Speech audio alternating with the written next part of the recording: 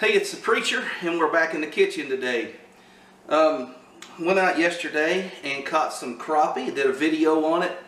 It's called Fall Crappie. If I ever figure out how to put a link to those, maybe I'll put one of those cards or something in here. I may just put a link in the description. But anyways, I filleted those crappie last night when I got home, and here's a crappie fillet. Um, these aren't giant crappie, but these are the size I like to eat. Uh, I've caught some really big crappie, like 16 inchers, and they're fun to catch. But their fillets are like that thick. And for what I'm going to do, I would rather have the thinner, not baby, but nice size crappie fillets. Anyways, my preferred way to eat crappie is to roll it in cornmeal, drop it in a fryer, pull it out, fry some hush puppies, some french fries, some coleslaw, and that is that is a meal fit for a king. Problem is, I'm trying to cut back on my carbs, and I don't want to talk about my diet, but I'm getting too big to fit in the frame, so I want to lose a little little weight here. So last year I started baking crappie. First few times it did not turn out good. I mean, it was edible. It was it was fish. It was baked.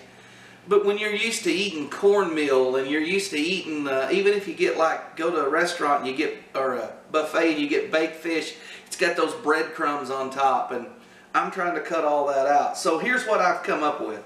This is my recipe for baked crappie. I flayed this last night.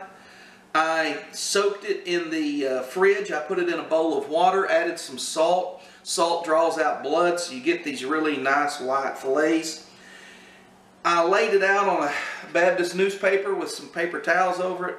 The Baptist newspaper catches the water. The paper towel keeps the Baptist newsprint, which wasn't fit to read anyways, and I don't want it on my fish. It keeps it from sticking to the fillets. So I've got them dried of their water, but I need to put a little oil on them. I want oil on them so they don't stick and so uh, to the pan, but so that the seasonings that we're going to put on them stick. So I'm going to put them in a bowl.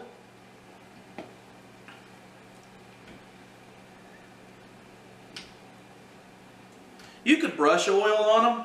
Here, let's get this stupid Baptist newspaper out of the way. I'm a Baptist, just not that kind of a Baptist. I'm going to use um, avocado oil. It's supposed to be good for you. And you don't need a lot of oil here. Just need enough to kind of get everything coated. It's supposed to be good for you, but at the Sam's Club, it is, uh, I think, like $7.99 for that big bottle. And uh, that's about half the price of olive oil. And to be honest with you, I like the avocado oil as good as olive oil if I'm cooking stuff or frying stuff. Okay. I have got everything lightly coated in oil, including my hands. Here I have a foil pan, and I have a rack somewhere, I have no idea where, that goes in this foil pan, and I use it, I think I left it at church. But I also have this grill grate, and uh, that's all I could come up with, but it sets right down on the pan, and there's going to be some liquid come out of this fish, so I laid some spoons, yes, six spoons on there to hold it up. This may ruin the whole thing. I don't know how, I don't know how well this is going to release. It feels kind of rough. It's kind of like expanded metal. My little rack is pretty good, so I got to improvise. Okay, I caught the crappie, I cleaned the crappie, the crappie's ready to cook. I'm hungry. This is what I had to come up with. So I'm going to take the crappie, and I'm just going to spread these fillets out on this rack.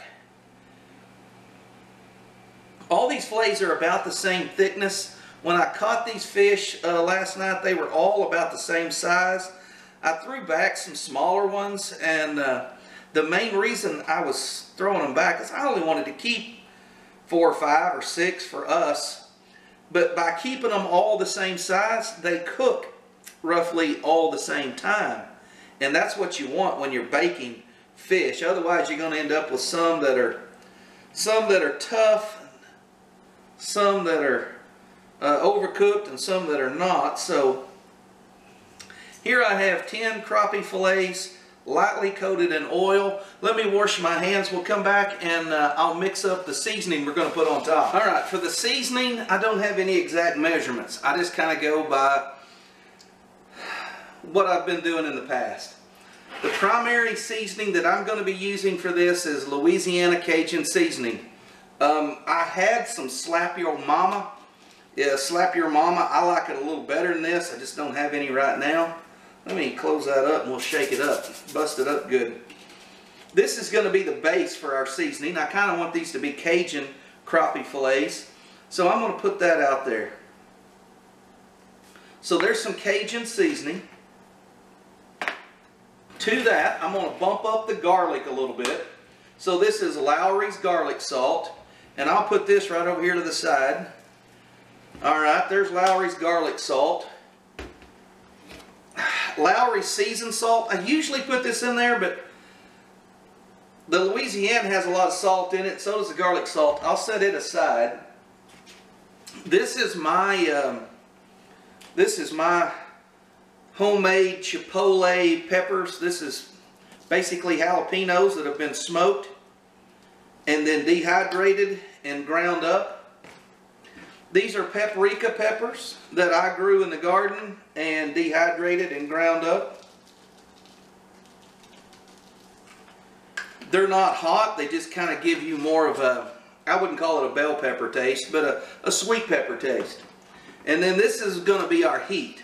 The, the uh, chipotle powder has a little heat, but this is my homemade dehydrated ground up red cayenne pepper. And I'm going to put a pretty generous amount of cayenne on there. And that's what you end up with, okay?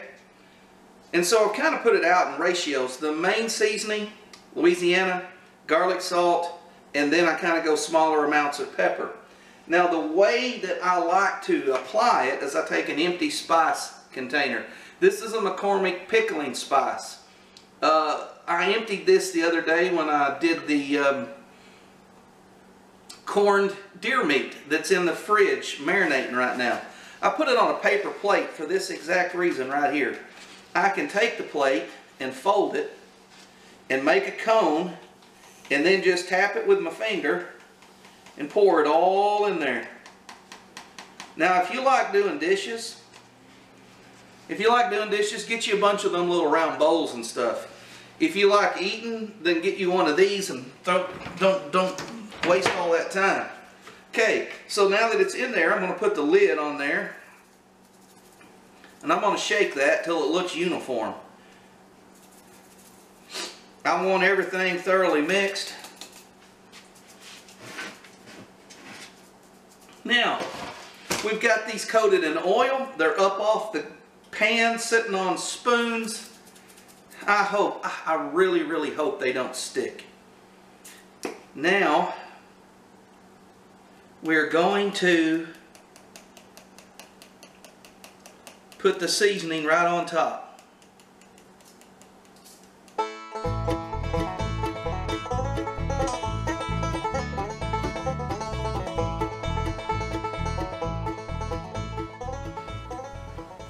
Pretty good seasoning setting on the top of them. They're coated in olive oil. The oven's at 400. I'm going to show you what they look like and then we're going to stick them in the oven. All right, there you see the flays and mainly the seasoning. I, I mean, you can get it. Just remember, as you get to the edge of these flays, it gets thinner. It doesn't need as much seasoning. So keep the bulk of it in the middle and feather it out as you get to the edges. Let's stick this in a 400 degree oven. Let me give you a look. They smelling good. Still look a little wet. Let me pull them out and check.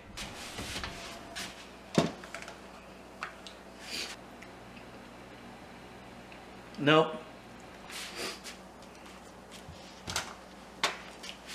Okay, I checked it. I went back and checked it again. At, the first time we looked at it was 10 minutes. I went back at 15.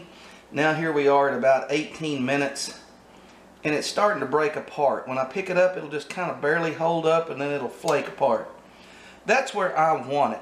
If you want it a little drier, if you want it a little more done, then go for 20 to 22 minutes. This is 18 and this is about where I like it.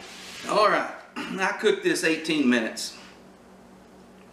And that is, uh, that's cooked enough for me. I'm not saying it's raw by any means. It's, it's falling apart, flaking apart, but I like it to stay together. See how I can pick that up with a wide fork? Uh, it just started breaking when I set it down on my plate. That's about the way I like it. That's one of the thicker pieces. The thinner stuff, see, it's, it's gonna break.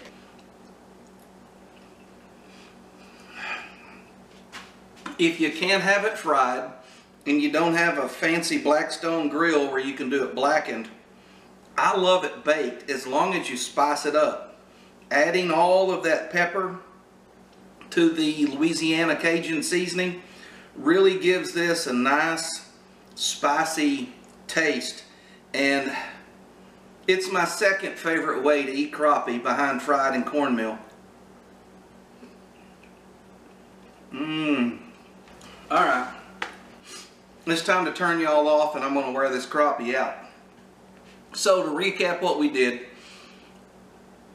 dry it. I soaked it in salt water. You don't have to do that. Just get it dry. Get all the moisture you can off of it. Let it soak on a paper towel on top of some newspaper. Then mix your own seasoning. You, you can just do Louisiana Cajun seasoning if you want or any other, but I start with a base and then I amp that up with my own dried peppers out of my own garden. Then coat it in oil, put your seasoning on it, bake it. If it's thin, check it in 10 minutes. This little thin piece that I accidentally messed up a filet with, it was ready at 10 minutes. The thicker pieces took 18. So check it at 10. If it needs a little more, go to 15. I pulled it out at 18. I'm going to turn the camera off and eat. Thank you guys for watching. If you're trying to cut back on weight and eat better or whatever, you're just trying to cut out fat uh, fried foods, maybe you're just tired of, you've caught so many crappie, you're tired of frying them. Try it baked, but if you're going to bake it, you gotta kick it up a notch. You gotta put some spice on it or it's just mush fish. This here, I can eat this. Thank you guys for watching.